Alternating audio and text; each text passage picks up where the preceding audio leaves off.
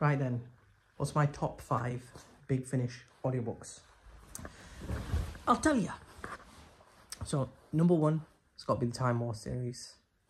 Time War, Eighth Doctor. Really good. I'm a big fan of the Time War.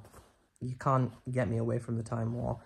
Um, one story I particularly like is um, Palindrome. It's in uh, the Time War uh, number four box set. It's got Davros in it.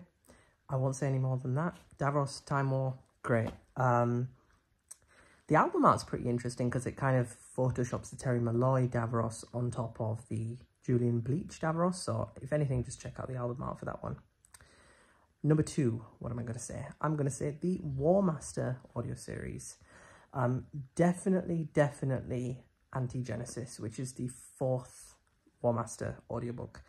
Really, really good. Let me just say, what if the Master went back, killed Davros, and became the creator of the Daleks?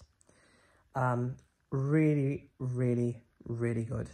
In fact, I'm putting War Master at the top. So, War Master, then the Time War. Um, number three, very interesting one. I'm just going to throw a wild card in and say Susan's War.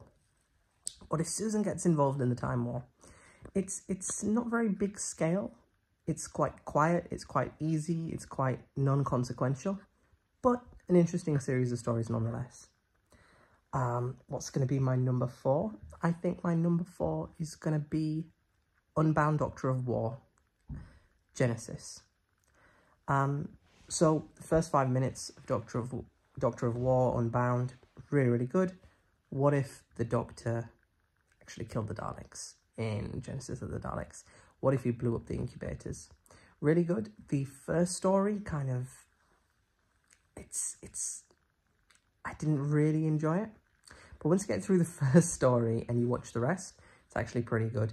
The first uh, box set Genesis is okay, but the second box set which is called, I actually don't remember, it's, it's, it's a lot better. So you obviously need the first story in uh, Doctor of War to understand basically what's happened, but it's, it's set in an alternate universe where the Doctor truly becomes the warrior. He doesn't go around saying, don't call me the Doctor, you know, I'm something else now, I'm something new, I'm something... No, he says, I am the warrior, and I really like that. It's, it's kind of big finish committing to the War Doctor and really, really having him do things that the War Doctor would never do. This is the Warrior. And number five, do you know, I'm going to say that if you really want to take it easy, if you really want some non-consequential stories, just want to waste some time listening to Big Finish, Rose Tyler Dimension Cannon. Really good, just set kind of before Turn Left and Rose Tyler exploring the various um, alternate worlds as the stars uh, die out.